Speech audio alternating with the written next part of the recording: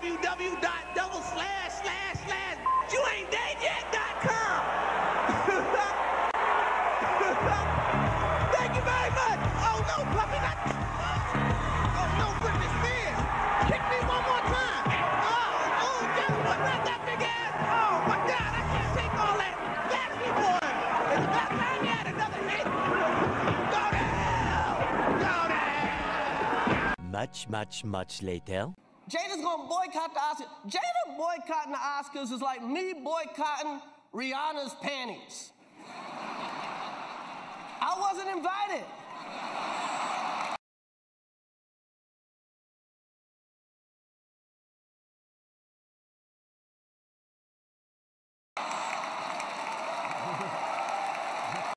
Much, much later. Denzel, Macbeth, loved it. I love the part where it said, King Lear don't got nothing on me. Y'all gotta see it, it's really good. You know who's got the hardest job tonight? Javier Bardem and his wife are both nominated. Now, if she loses, he can't win. he is praying that Will Smith wins. Like, please, Lord. Jada, I love you. G.I. Jane 2, can't wait to see it. All right?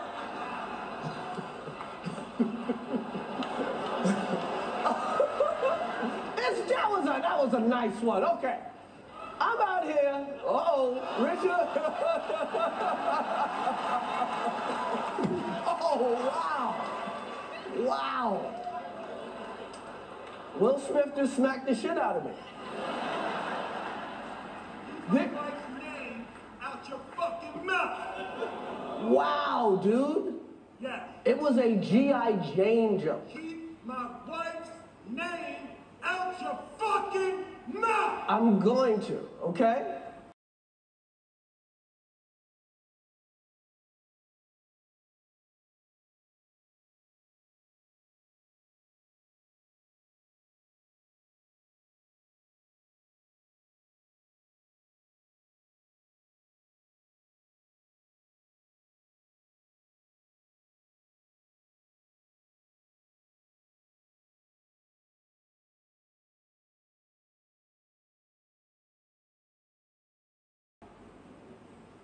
Oh, I could, oh, okay. That was a greatest night in the history of television. Okay. Okay. So we are here to uh, give a documentary out, to give an Oscar out for best documentary. Now, the beauty of documentaries, because they, they make you, when you watch one, you feel smart. Like you watched them, like, you know, like you read a book or something. But all you really did was get high and watch Netflix. So here we go. Here we go.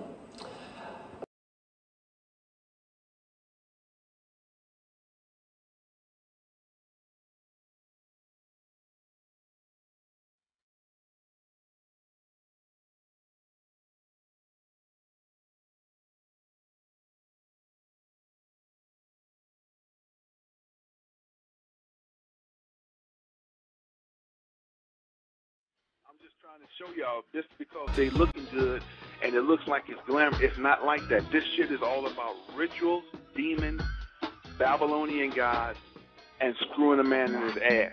You get in the music industry, they start taking you on these crazy uh, party trips, and it's, it's called the Pandora box.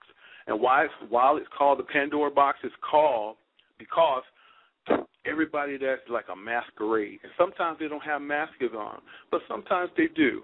And you have a, I've said this in many of my blogs before, but let's just bring it up to par, right? They have masks on, they have androgynous there, they have she-he's, they have women dressed like men. I mean, you name it, it's there. And it's all the top Hollywood actors, models, singers, hip hoppers, you name it, it, is there. And they could be dressed in a disguise. So she was exposed to that. My God, I can't believe that. I can't be a part of that. Oh, what what you mean you can't be a part of it?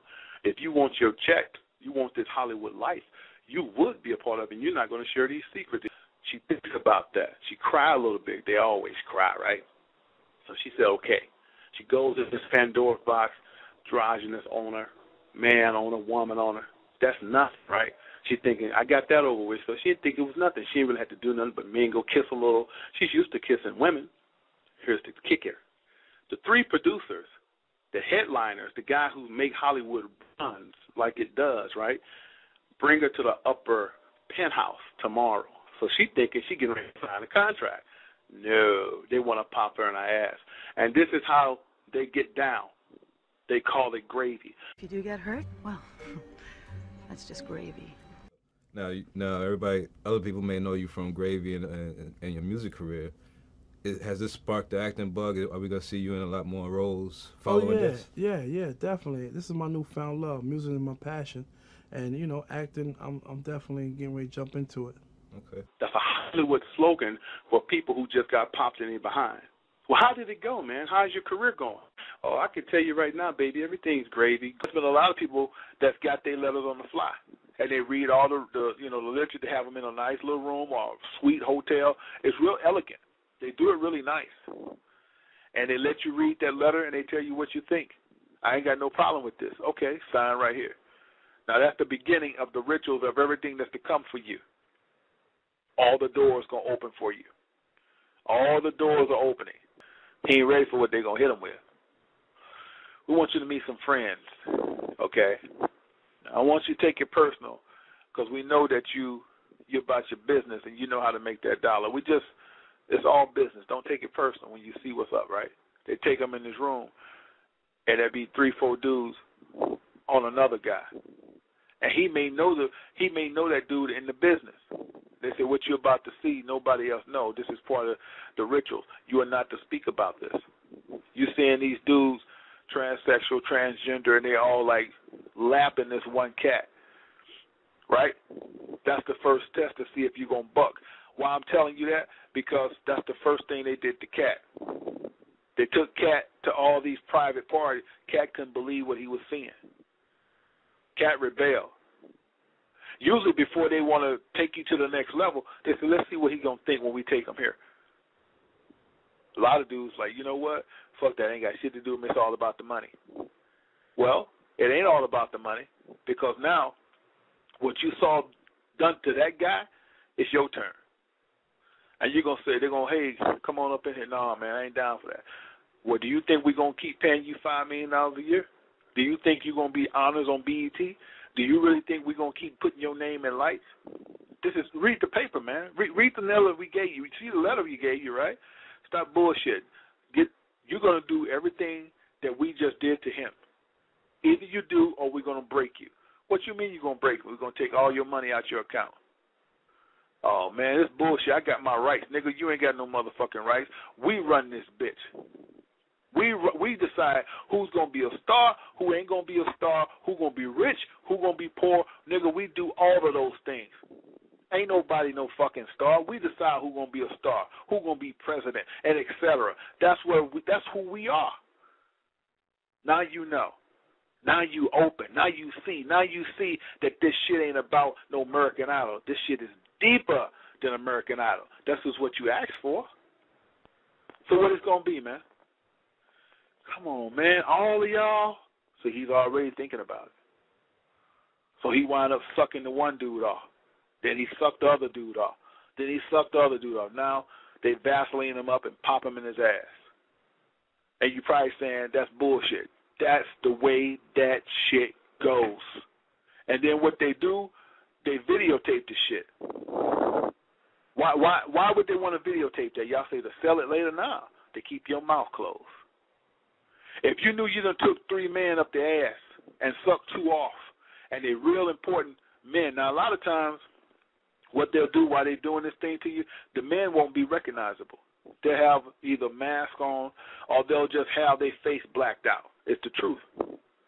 Why do you think they do it? They put that shit in a special index box because if you get out of line, nigga, they're gonna say that you was a homosexual, you was a pedophile, you did things that never got caught, and they're gonna put this crazy ass video on you getting boned by men up your ass and taking sperm all in your face. I'm telling you how it goes. they they let they letting you know he Denzel Washington is not exempt from getting ran up in his ass either. So a lot of people say, well, he got shot in his ass, but don't mean he went up. Denzel Washington made twenty five million dollar picture. You can't make that kind of money if somebody ain't blowing you that's of the same sex. I'm just letting y'all know. Denzel Washington does not get a pass. Nobody in Hollywood gets a pass, and especially no Denzel Washington. Will, Will Smith. Will Smith had a relationship with Benny Medina. Benny Medina ran the uh, Fresh Prince of Bel Air.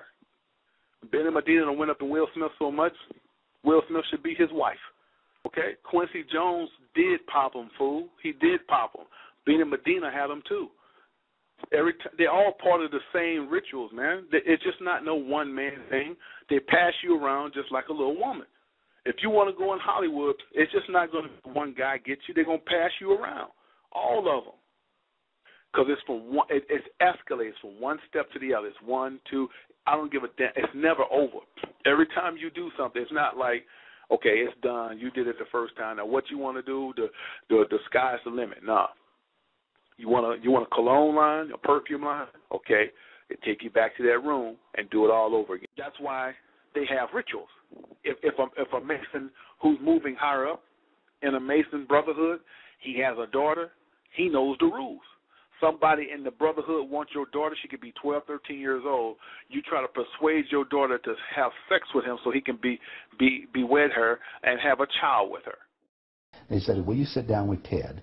And so I sat over with Ted Kennedy. He's sitting right next to me. Mm-hmm. And Ted and I are, you know, he's just joking. He says, George, you're going to love this job. You're really good with money. We're going to send you out to all the state Democratic functions to raise money for the National Democratic Party. And he said, you're going to meet some real foxy ladies. And just then, my daughter walked in. Mm-hmm.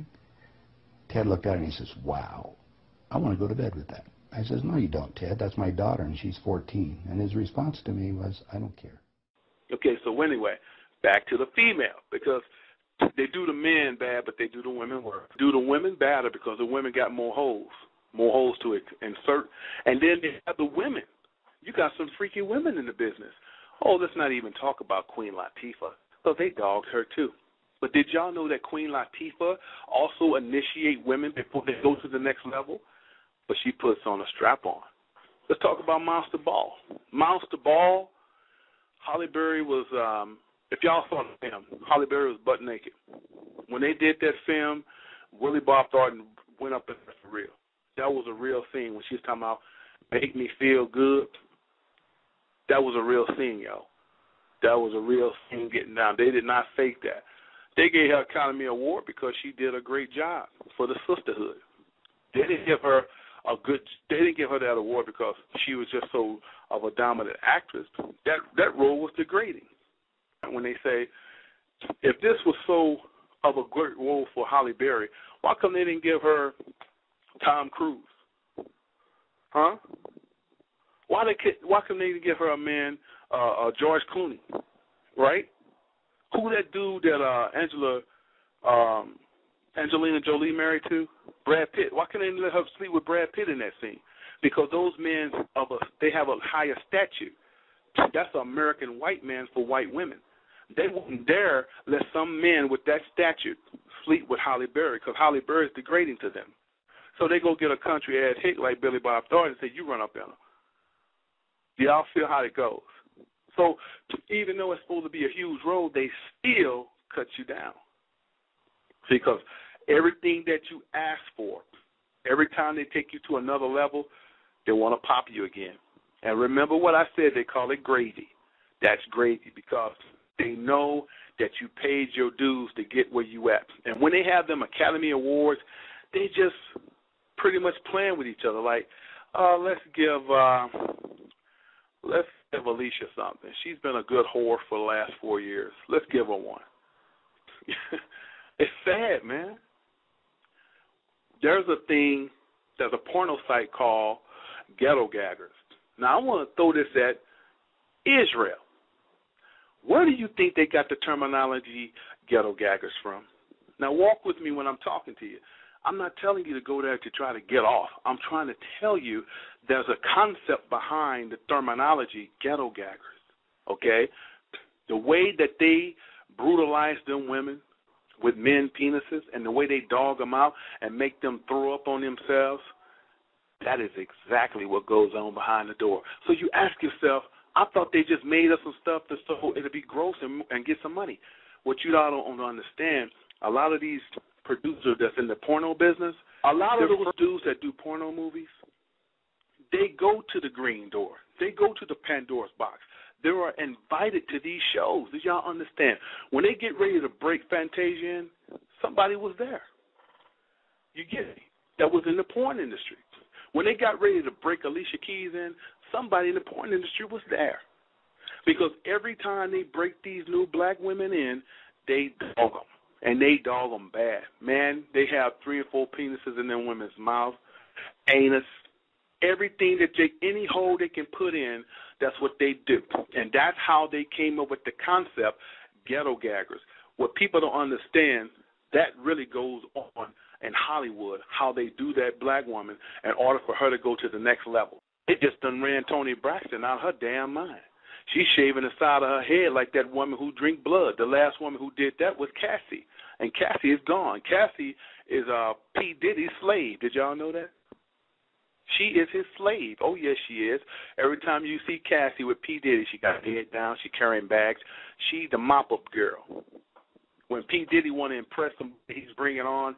He let Cassie go down on him. He let that dude pop in the butt, and P Diddy sit back and masturbate while she's being ran in by his partners. Did y'all know that? I'm telling y'all some true Hollywood insider, brother. It gets down like that. That's the way they roll. And if you're a woman, especially if you're a sister, you come in with all that attitude, they're gonna man, they're gonna tear, they're gonna rip you apart. The first thing they're gonna do is break you. They're putting it right in your face, like, okay, we worship the devil. We we you know we we down with the Baphomet. Okay, we we do lesbians and gay and you know, you know we do a little something something. What? What you gonna do? What? Because you know why they're so bold with their truth? Because they know majority of the people in society are so dumbfounded and so beat down on these jobs that they'll take anything. And they do not have your best intentions. Like I told you in the early segment, they have to keep negativity, negative energy to make money. If everybody's happy, people gonna start thinking. Okay? People gonna start thinking. If people start thinking, then people start asking questions. And then when they start asking questions, the questions can't be answered. Now you got a society of people waking up. They can't have that.